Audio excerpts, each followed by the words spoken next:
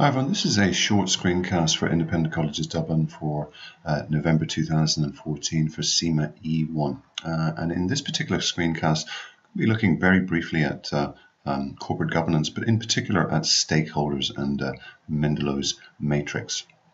Um, now, the first issue with uh, stakeholders is really their definition, and the definition that you see here is really just uh, individuals or indeed groups who have an interest in the entity or the organization, what it does. Perhaps another uh, uh definition might be uh, uh, entities or indeed individuals or groups who are affected by or can be affected by or can affect the organization.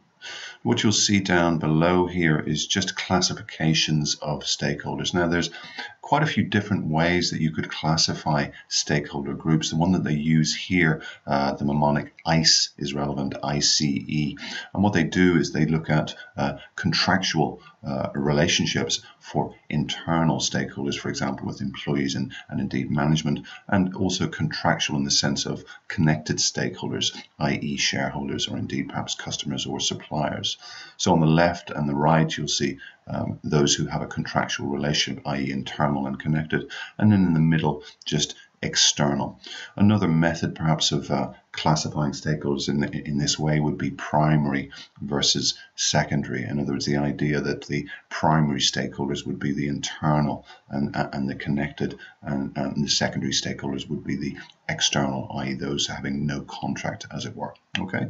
Um, now the important thing with stakeholders and I guess with uh, uh, corporate governance, just this idea that each stakeholder is going to have uh, uh, uh, their own need. In other words, each stakeholder is going to have some form of particular interest in the country in the uh, company. And in this particular case, we looked at employees. Obviously, their interest is uh, their jobs and obviously being paid. Uh, perhaps uh, government interest would be uh, uh, tax revenues and indeed the entity complying with the law. You'll see that along the E stream and indeed with E1 as well from time to time that where you have mention of stakeholders in the question, it's very possible that there's going to be some sort of conflict. You know, a conflict between the various needs that uh, each of the stakeholder groups wants to sort of defend, as it were, to use the word that they use within this particular slide.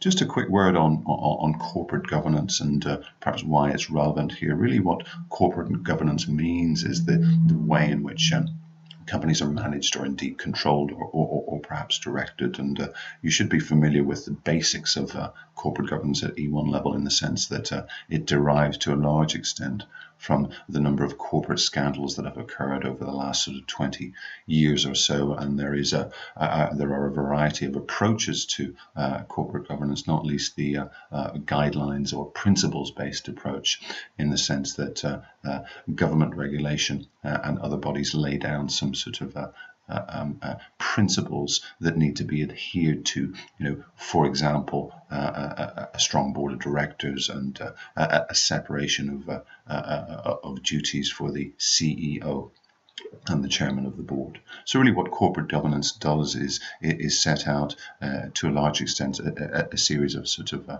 guidelines that companies really need to adhere to, particularly listed companies. And what they're trying to do is to really regulate the way in which companies are managed and, and controlled. Okay.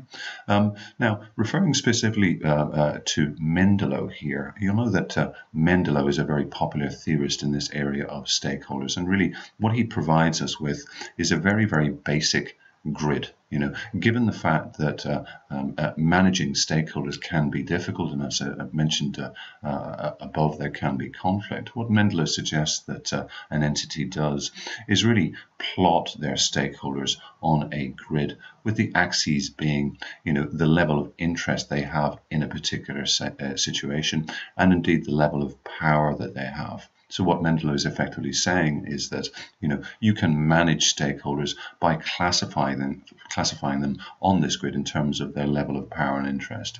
Now, obviously, each stakeholder group will be different. And indeed, you know, some stakeholders will have a very, very high level of interest uh, in the particular issue uh, uh, that's at hand, and perhaps a particularly high level of power as well. Perhaps they're providing the finance, perhaps as the uh, uh, the stakeholders.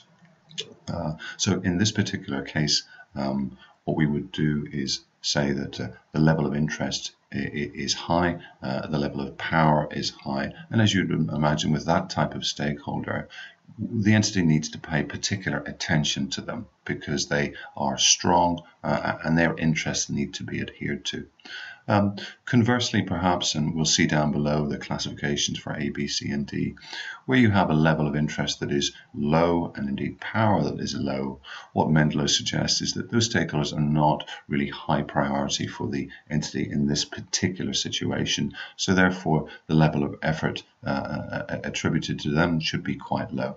So what you'll see below is um, just the, the various possibilities. So in essence, then all that we're trying to do is map uh, individual stakeholders into the grid.